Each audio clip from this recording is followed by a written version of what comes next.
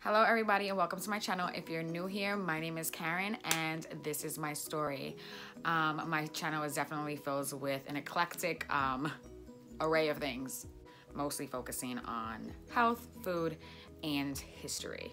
Um, just because that's me and that's my story. Today I wanted to come on here just because it is actually May, what, 23rd?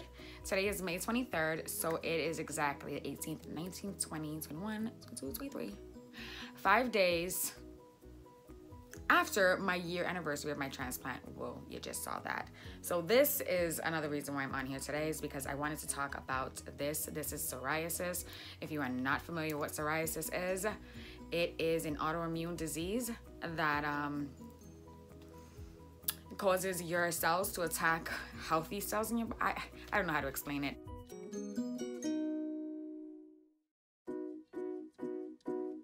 But it's an autoimmune disease that causes me to produce an excess amount of skin. It's telling my body that I need to reproduce skin and it ends up in these dry, flaky patches. The reason why I wanted to come on here today and talk about that is just because I wanted to take you guys on my journey um, on correcting the psoriasis or maybe just even finding something that works for me maybe it'll work for you um, something that will help me with my psoriasis. So i have this huge patch right here. I haven't had psoriasis on my arm like this in forever. I want to say even when i was a child i mostly had them on my legs big patches and i would never wear skirts or dresses just because they were embarrassing. Um, recently, and I was just been a year after my transplant, I said that I would give an update because at first I thought my psoriasis was clearing up. I thought that everything was okay. Um, but no, it hasn't. And I have like a couple of theories as to why or reasons as to why I think that my psoriasis is not clearing up. So my doctor had told me that after you get a kidney transplant, your kidney wants to continue to produce urine, right? It wants to produce, produce, produce, produce, produce, produce urine. So they want you to drink an excess amount of water. Um, I haven't taken you guys in all of my blood drawings or all of my appointments or anything like that. But during those appointments, um, we talk about my creatine levels and, and, and stuff like that. I would say things like that.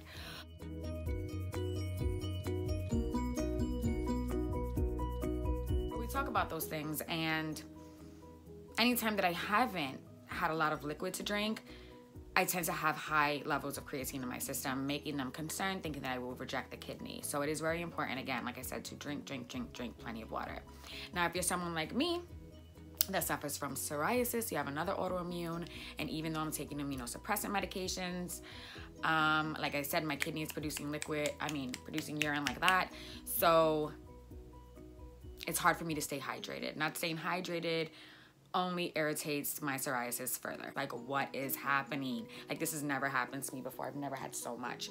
And, um, back here looks crazy. Over here you can see some. And I would show you my legs. I would show you my legs, but maybe in a different video just because it would be too much to remove all of this and to kind of just show you my legs right now. I have some on my hips. I have some on my back um, and then my scalp. My scalp, when I say that I've been washing my hair almost every single day, I've been washing my hair almost every single day, it's actually coming out the front here. And I really don't want to show it so much because it is, it's embarrassing. So I did some research online. I did find something on Instagram called Ancient Cosmetics. I think that's what it's called. I, I will try to buy that turmeric scrub because I heard turmeric is really good for your skin. and.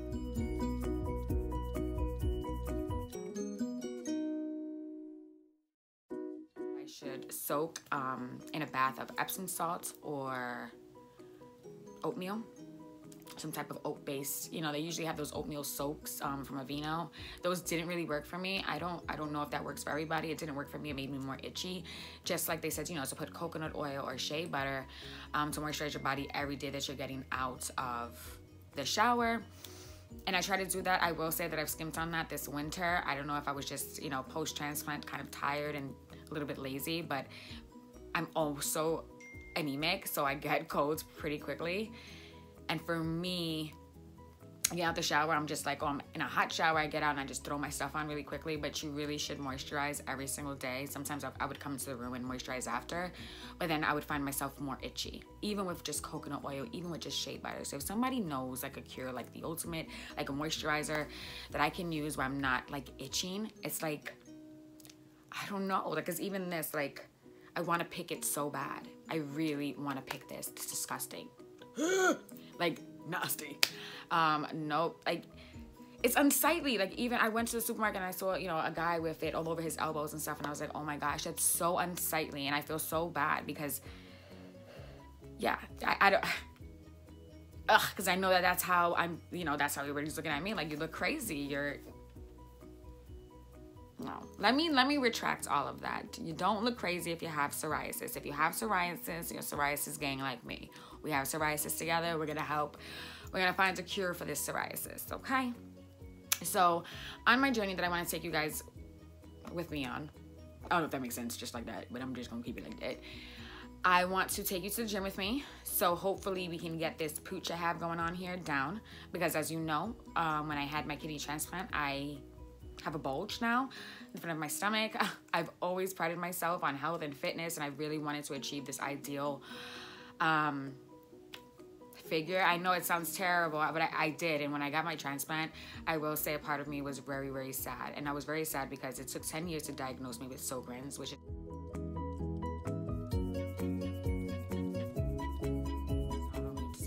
yet to talk about on this channel, but I was diagnosed with Sjogren's, which causes, which means I don't have the, the glands that everybody else has, right? So let's, why don't we give that update right now? I don't have the sweat glands that everybody else has, the saliva glands that everybody else has, the tear duct glands that everybody else has. So what does that mean? That means right now I'm suffering from extreme dry mouth. Like literally, my mouth is really dry. Um, that means that I have not had tears. Um, so I've never, I, I can't physically cry tears. I haven't cried tears since I was like eight years old.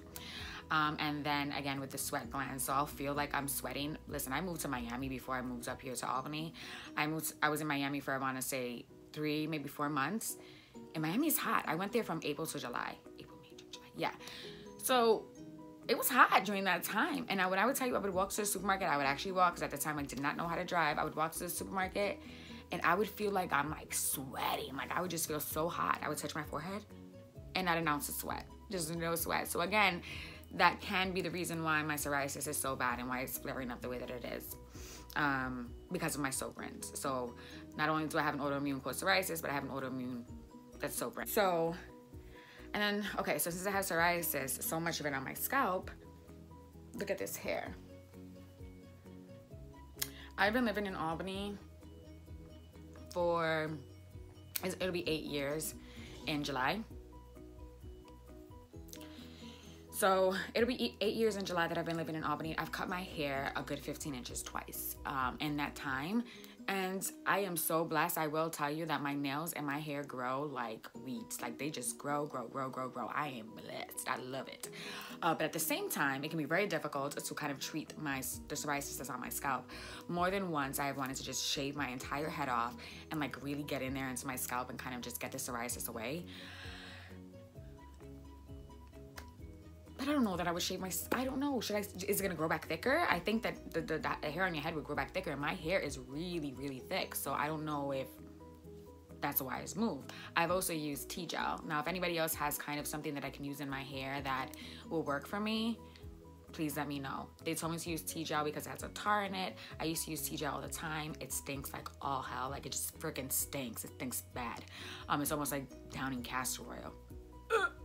Disgusting. Ew, even the thought of it just makes me feel gross. But yeah, the T/Gel does not work. So then I went and, and bought um, this apple cider vinegar like scrub for your hair from Shea Moisture.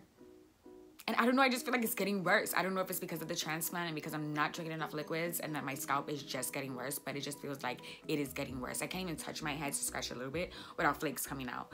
And that, I was gonna say that shit. I did anyway, but whatever. Um, I was gonna. It's just annoying. It's annoying. It's an, and it's embarrassing. You know how many times a day someone's like, "Oh, you got something right there in your hair," and I'm just like, "Yes, it's my psoriasis. I know, I got it."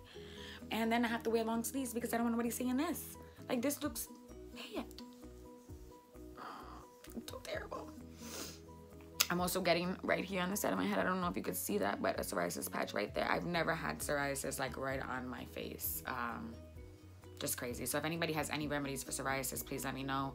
Right now, my next couple of videos, I really want to focus on going to Trader Joe's and getting some really healthy things. I want to make some smoothies that I think would be beneficial for my skin a lot with vitamin D, some aloe, um, avocados, a lot of things that are really good and moisturizing for your skin. I want to make a ton of smoothies. I want to take pictures along the way.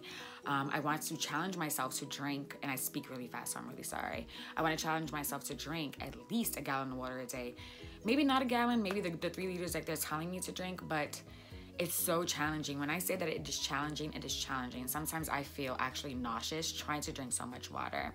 Um, and I had just talked to my social worker recently because this is since I'm a year post-transplant now, um, I have to apply for Medicare. Now, I explained this in another video how the insurance piece is really, really difficult. Um, I want you guys to figure that stuff out prior to getting your transplant. Right now, I'm getting my, I have my job's insurance because I could not opt to take insurance through New York Health Exchange. The reason why I couldn't get insurance through New York Health Exchange is because from my, my social worker told me is that it's like double dipping, right? So I can't get insurance through New York Health Exchange and then on top of that get Medicare ridiculous. I, I I don't know why she thought I would qualify for Medicaid, but I didn't. So I had to go back on my job's insurance. Now they're taking an extra hundred and some change out of every single check that I really can afford. On top of all of the medications that I'm taking, you know, I'm taking the Prograf, I'm taking the Rapamune, I'm taking the CellCept, I'm taking Omezapro, which is supposed to like help your gut. I'm taking Bactrim. I forgot what that's for if you know and you had kidney transplant, let me know. Um, and I'm also taking like a baby aspirin. I also had to go back to the doctor because I had to get diarrhea medication because like these medications are having my stomach just go crazy. And that's another thing I read about psoriasis is that um, a lot of times your psoriasis flares up if your gut health is not okay. And obviously my gut health is not okay. Um, and then I just did this last video where I went ahead and ate a bunch of fast food listen, I enjoyed myself. Even though I sounded like a little brat, um, it was like a cheat for me because for years, ever since I was diagnosed with kidney failure, I've tried really hard to stay away from junk and from fast food and stuff like that. So um, it was fun. Will I do it again? Probably, just because it's fun. And I would love to try some new things. However, I won't do it an entire week the way that I did before. I probably would just do like a mukbang. Is that how it's? Because I have a lot of things that I want to talk about. And maybe you guys can talk about this stuff with me. I don't have many friends. I am a loner. I'm a person that talks to myself quite frequently, and I'm not afraid to admit that. So come chat with me. Leave some comments down below. Um, and if you have any remedies for psoriasis, please, please, please let me know. Uh, anyways, if you want to follow me on my journey, want to see if my stomach actually goes down from this uh, bulge that I have from a kidney. And I really get upset when people say stuff about Selena Gomez. I don't know if her kidney was inserted in the front because she's a celebrity. Maybe they did something special for her. Who knows? But if it is in the front and people are commenting on how she looks in her bikini, saying that she has extra pudge and stuff, it's not pudge. It, it, it's her kidney. And it's a big organ that's put in the front. They're trying to stuff that into a small body, you know? So cut her some damn slack. and yeah help me out with the psoriasis guys. Should i cut my hair? Is there other products that you guys know of? I heard also that i should put like apple cider vinegar in my hair. The only thing that i really do use in my hair is like shea moisture products or coconut oil. If something else works better please please please please let me know. I really want my san francisco trip to be great. I've never been on a vacation before. When i say never never i don't know if i went through this story before but i had my first at 15 had my second at 17 and um, my kids have been my entire life. So at 32 years old, yes, I just said my name, my name. at 32 years old, yes, I've said my age. Um, I am ready to finally go on a vacation, and I hope that psoriasis is not the death of me. All right, anyways, thank you guys for watching my video. I really do appreciate it. If you do like this video, please give it a thumbs up. And if you have any suggestions for me on what you would actually like to see, um, or if you even think, my, if you think my personality sucks, just say, listen, you suck. I've said that in my last video also, but yeah, I would love some feedback. I guess that's what I'm trying to get at. So thanks so much for watching. I'll talk to you guys in my next video.